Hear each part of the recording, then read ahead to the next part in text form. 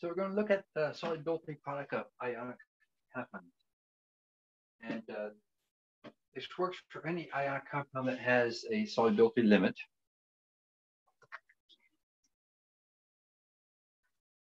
We are looking at uh, even the compounds that we describe as being insoluble generally, but even though they're insoluble, they still dissolve to a small degree, and we can look at that.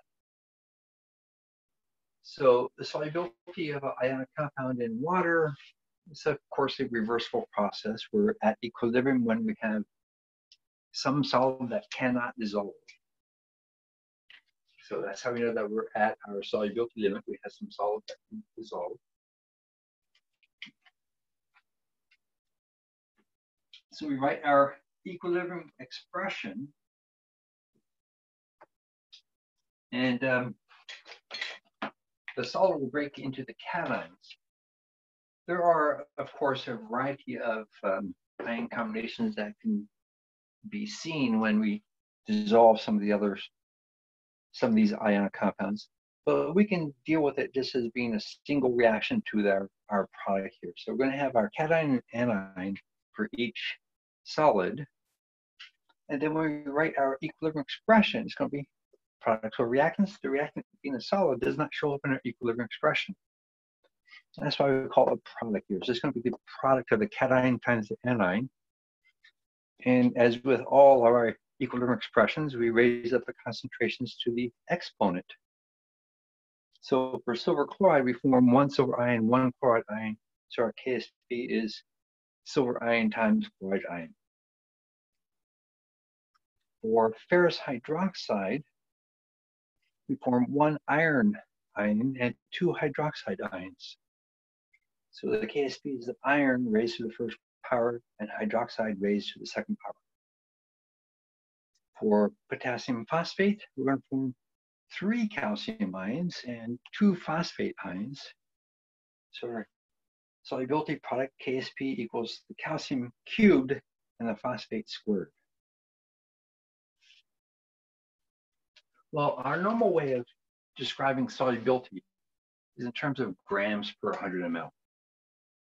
And this is not useful in our solubility product, so we're going to practice converting normal solubility into molar solubility. So if we're having a 3.89 times per 100 mLs, it's easy to assume that we only have 100 ml of solution. So that quantity, 100 ml times the concentration, 3.89 times per 100 ml, will give us 3.89 grams of that barium hydroxide octa octate, octa, hydrate, octahydrate. So that's the compound. So in water, that barium hydroxide as a solid form likes to hold eight water molecules in. So that's what we have to use for molar mass, the whole compound barium hydroxide with the eight waters attached. So we take our 3.89 grams divided by the molar mass, we get moles of barium hydroxide. Well, we need uh, just volume now. We assumed 100 ml, so that's 0.1 liter. So we take our moles divided by 0.1 liters, we get 0.123 molarity of barium hydroxide. So that's the molar solubility of barium hydroxide. We also want to know the concentration of each of the ions, because that's what we're going to do need in our KSP product. So we take the molar solubility of the compound, and then we multiply it for the ratio of how many ions are in the compound. So it'll be the ratio of one barium per one barium hydroxide. So we end up with 0.123 mole molarity of barium ion. Our 0.123 molarity of barium hydroxide times the ratio of two hydroxide in one barium hydroxide, we end up with 0.246 molarity of hydroxide. So let's try a couple more calculations here.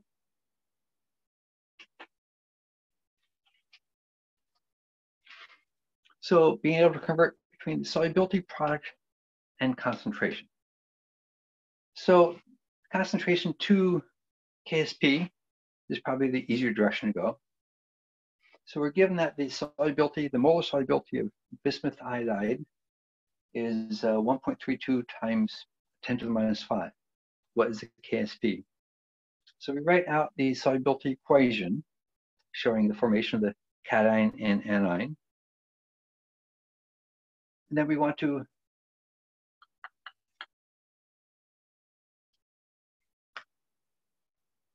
calculate the concentration of each of the ions.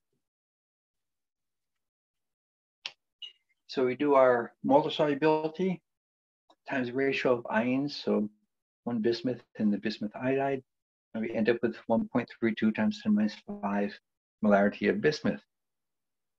For iodine, we do uh, the molar solubility times the ratio of three iodide to one bismuth iodide.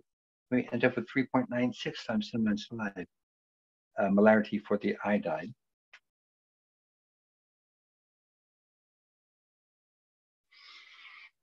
So we write our KSP uh, expression. It's going to be a bismuth times iodide cubed. We put in the concentrations, run through a calculator. We end up with a 9.20 times 10 to minus 19. And this is typical for a lot of solubility products that we can have some very small exponents on these solubility products. So let's go the other direction. Let's take our KSP and turn it to molar solubility. So we're given that silver phosphate has a KSP of 1.8 times 10 to minus 18. We want to know what its molar solubility is. So we write out the solubility expression, the silver phosphate turning into three silver ions, one phosphate ion.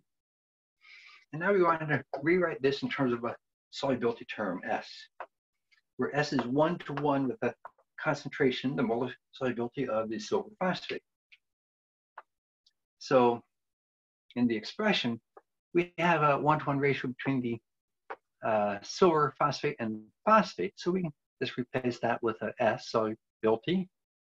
And then silver has a factor of three, coefficient of three implement, so we get three S there.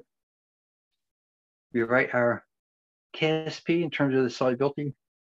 So we have our, um, hmm, didn't write out all the way. Let me add it on the original end. So our KSP will be silver cubed times our phosphate. So silver phosphate, our silver